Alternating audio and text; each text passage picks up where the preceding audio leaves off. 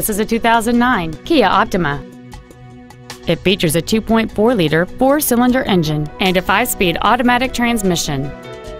Its top features include a multi-link rear suspension, a low tire pressure indicator, satellite radio, and traction control and stability control systems. The following features are also included a split folding rear seat, cruise control, stereo controls on the steering wheel, a security system, a passenger side vanity mirror, privacy glass, rear impact crumple zones, halogen headlights, heated side view mirrors, and air conditioning. Not to mention that this Kia qualifies for the Carfax buyback guarantee. Please call us today for more information on this great vehicle.